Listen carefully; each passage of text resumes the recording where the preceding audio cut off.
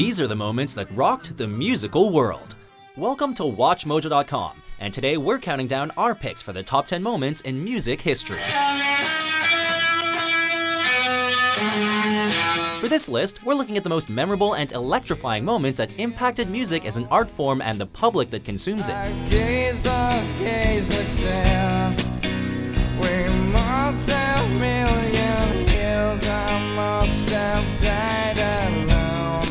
We're not counting the deaths of any musicians as they all prove equally sad. And we're also not including infamous moments like Kanye West's interruption of Taylor Swift's VMA acceptance speech, as they deserve a list of their own. Yo, Taylor, I, am really happy for you. I'm gonna let you finish. But Beyonce had one of the best videos of all time. Number 10, Sugar Hill Gang reaches the top 40. The hip hip to the hip, hip hop, you don't stop the rocker to the bang bang boogie. Say up, jump the boogie to the rhythm of the boogie beat. We're sure you've jammed out to Rapper's Delight once or twice, but did you know it was recorded in a single take? Didn't think so. That single take, recorded by Englewood natives Wonder Mike, Big Bank Hank, and Master G, rocked the musical world when in January 1980, it cracked the Billboard Top 40, landing the number 36 spot.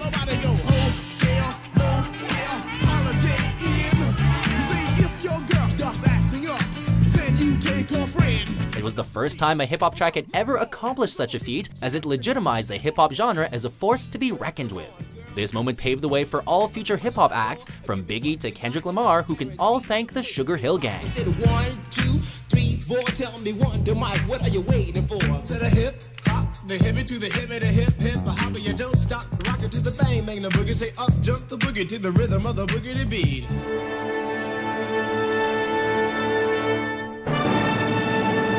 Number 9. Beethoven premieres the Ninth Symphony.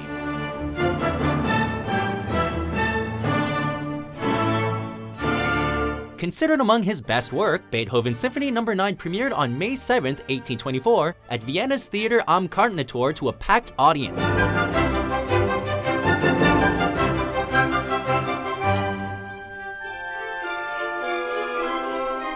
Matching the crowd, Beethoven packed the stage with the largest orchestra he had ever convened, including many of Vienna's elite musicians. The premiere marked the first time Beethoven had taken the stage in 12 years. During that time, he lost his hearing, and as a result wrote the symphony off musical intuition alone. All of this added to the crowd's anticipation.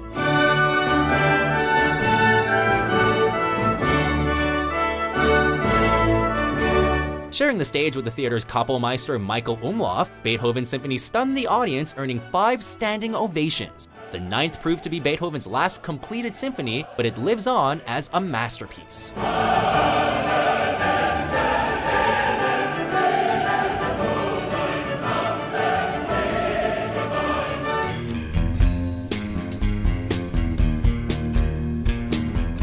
Number 8. Nirvana on MTV Unplugged. Come as you are, as you were, as I want you to be. The music industry owes a lot to MTV given the game-changing impact of its arrival, but the channel should also be recognized for some incredible music moments. Perhaps the most powerful performance ever aired on the channel was Nirvana's 1993 appearance on MTV Unplugged.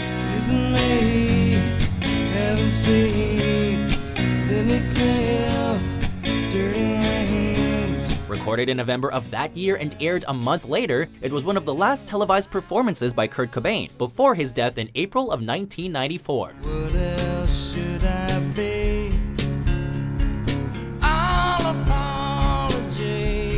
In the wake of his death, the performance inherited immense weight, where the funeral-like set, dressings, and melancholic song choices brought Cobain's declining mental state into focus.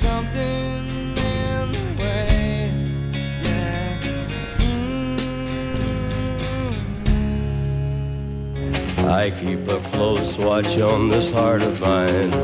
I keep my Number 7. Johnny Cash walks the line. I keep the ends out for the tie that binds because you're mine. I walk the line. You better not bend over there with that camera like that. Johnny Cash was never one to play by the rules, and that's why the public loved the man in black. An outlaw spirit who had fair share of brushes with the law, Cash sympathized with prison inmates. He advocated for prison reform and as early as the late 1950s, started to visit and perform in prisons. But you ought to thank me before I die for the gravel in your guts and the spit in your eye, cause I'm the son of a bitch that named you Sue. The real moment of magic came on February 24, 1969, when Cash performed live at California's San Quentin prison. San Quentin, you've been living hell to me. Fueled in part by his annoyance with the British film crew filming the concert, Cash led a rowdy crowd of inmates with a rebellious, energetic, and career-defining set. San Quentin, I hate every inch of you.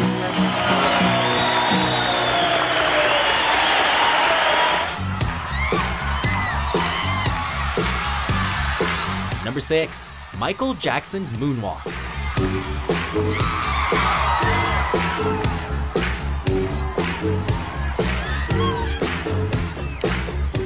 Create the move, but MJ sure as hell popularized it. The moonwalk has cropped up throughout pop culture since the 1930s, such as James Brown and the Blues Brothers, for example, but there's only one name synonymous with the move Michael Jackson.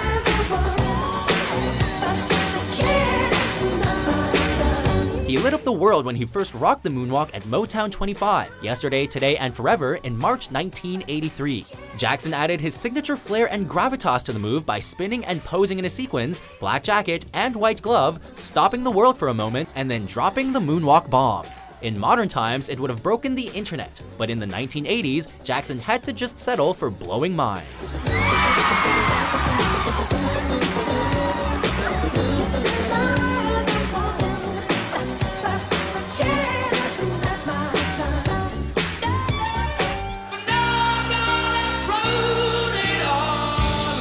Number 5. Queen at Live Aid.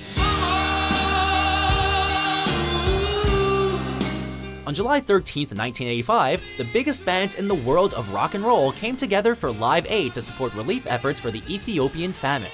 On a day featuring a reunited Led Zeppelin, The Who, Black Sabbath, and Crosby, Stills, Nash & Young, and U2's epic 14-minute rendition of Bad, it was Queen that stole the show.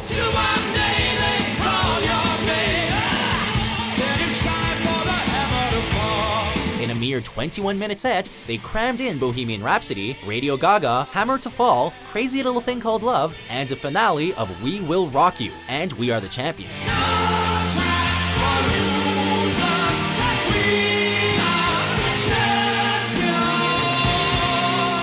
The performance was incredible as Freddie Mercury commanded the stage and the 72,000 person crowd in what proved to be one of his last major performances.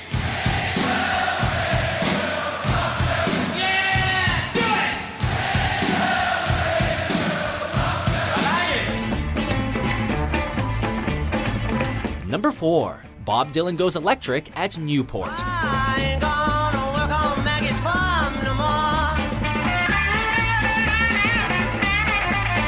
A fan favorite of the Newport Folk Festival thanks to his appearances in 1963 and 64, Bob Dylan rattled the cage a little too hard in 1965.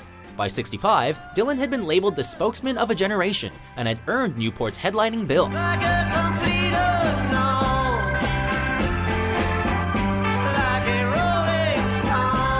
Taking the stage with members from the Paul Butterfield Blues Band and armed with a Fender Stratocaster electric guitar, Mr. Zimmerman parted ways with his folk brethren.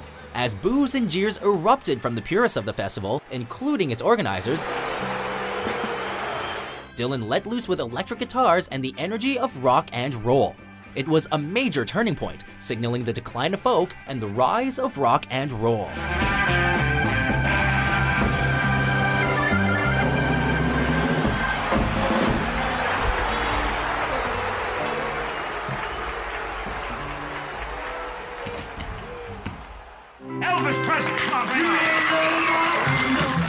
3. Elvis on The Milton Berle Show. You ain't nothing but a hound dog. Cry all the time. By the time he performed on The Milton Berle Show on June 5, 1956, Elvis had already appeared on television plenty of times, including a previous appearance on Berle's show. Yeah, you ain't nothing but a rabbit and you ain't no friend of mine. This time around, however, things were different. Guitarless and free to move around the stage, Presley became a quivering mass of windmilling arms and gyrating hips while performing an overcharged version of Hound Dog.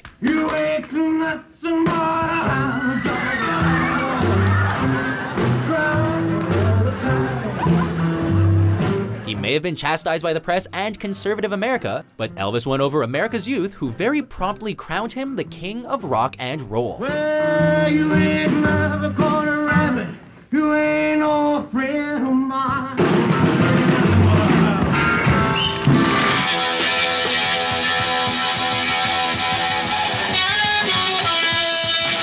Number 2. Jimi Hendrix plays the Star Spangled Banner at Woodstock.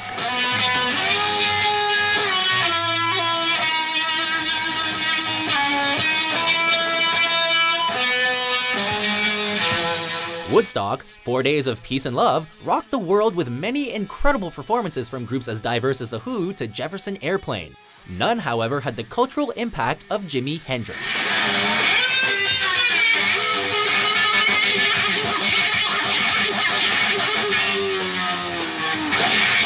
Due to the festival being horribly off schedule and following Sha Na Na, Hendrix finally took the stage early Monday morning, with a mere 30,000 of the 400,000 plus audience still in attendance.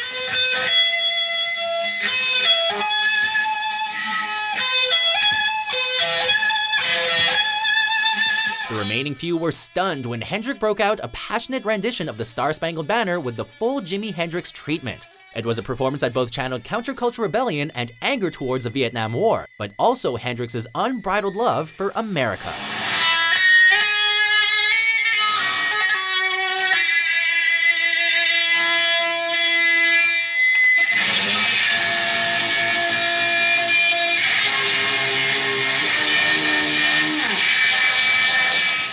Before we unveil our number one pick, here are a few honorable mentions.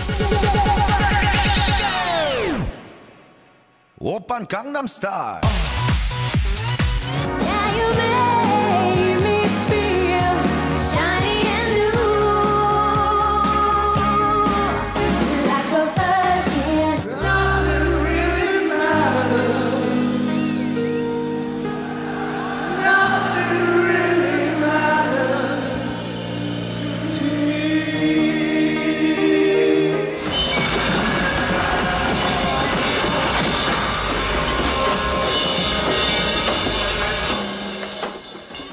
And gentlemen, the Beatles. Number one, The Beatles on The Ed Sullivan Show.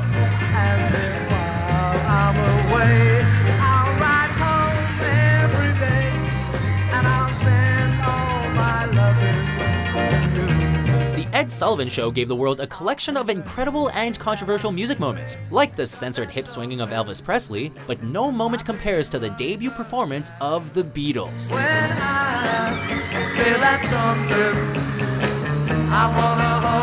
I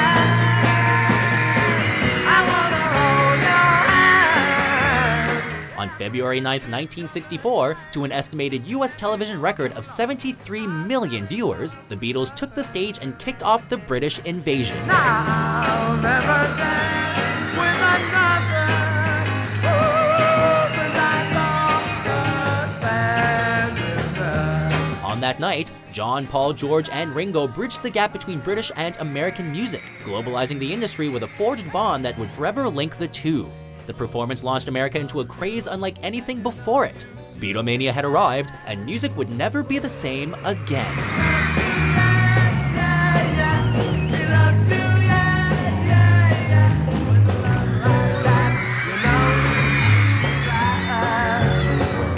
So, do you agree with our list? What do you think is the most important moment in music history? My name is Sue.